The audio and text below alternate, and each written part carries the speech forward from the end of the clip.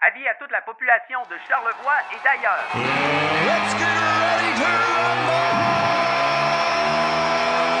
Ce samedi 28 mai, l'endroit désigné pour une belle soirée, c'est à la salle municipale de Saint-Hilarion pour Mayhem, le dernier gala de lutte de la saison. Pour l'occasion, vous pourrez rencontrer vos lutteurs préférés lors du FanFest pour prendre photos et autographes. Les portes ouvriront à 18h30.